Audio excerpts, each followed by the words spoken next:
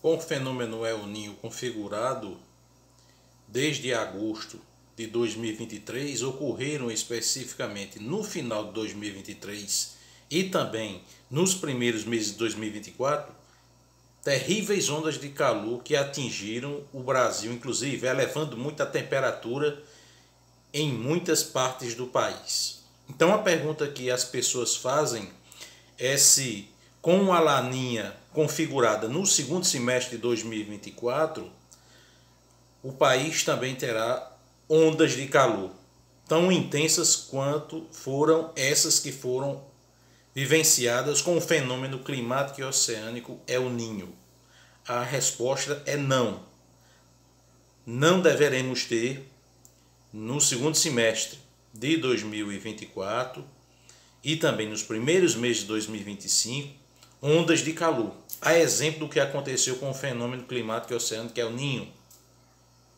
Lembrando que a laninha ela provoca para grande parte do país temperatura variando de normal a abaixo da média. Com o El Ninho as temperaturas ficam acima da média em grande parte do país. Então, os dois componentes que favoreceram a ocorrência dessas ondas de calor intensas do final do ano passado até os primeiros meses de 2024 foi o El Ninho associado ao aquecimento global. Com a laninha configurada, os impactos do aquecimento global, principalmente na temperatura, serão amenizados. Então, a perspectiva com a laninha configurada no segundo semestre de 2024 e também nos primeiros meses de 2025 é da não ocorrência de ondas de calor intensas no Brasil. Se inscreva no canal Física e Meteorologista Rodrigo César.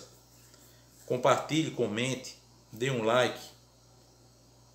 Colabore para o crescimento do nosso canal.